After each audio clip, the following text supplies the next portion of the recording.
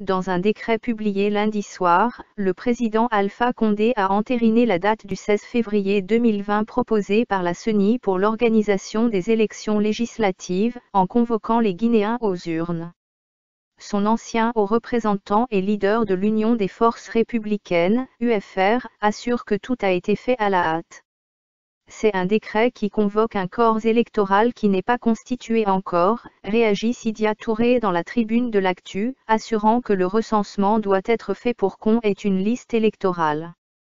Il affirme que le chef de l'État avait jusqu'au 5 décembre pour appeler les Guinéens aux urnes, ajoutant que le décret rendu public était pris dans la précipitation la précipitation, mais je ne sais pas ce que ça cache.